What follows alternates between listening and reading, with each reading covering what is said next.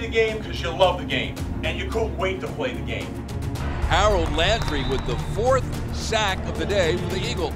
And you played with great energy and fun, and you never had the weight of the world on your shoulders.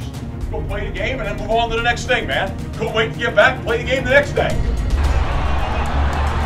Cuts back to the left, and he'll take it all the way for the touchdown. Tremendous ad-libbing by Patrick Towles. You get into coaching for the same reason. You love football, you love to coach, you want to be around great kids, you want to coach kids. That's what you do, right? That's what you do.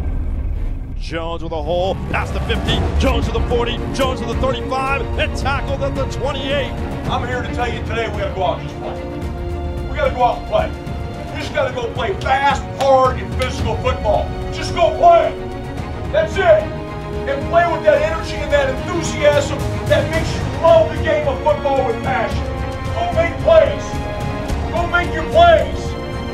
And just keep going and going and going and keep your vision on what our target is to be the best football team on that field today. Fires near side, and nice catch by Walker.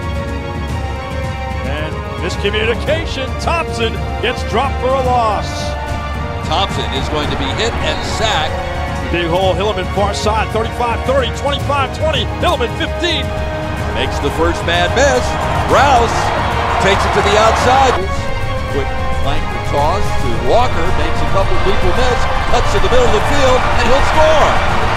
Goals at the 32, a lot of time. Right down Broadway for Smith. Got him at the 15, to the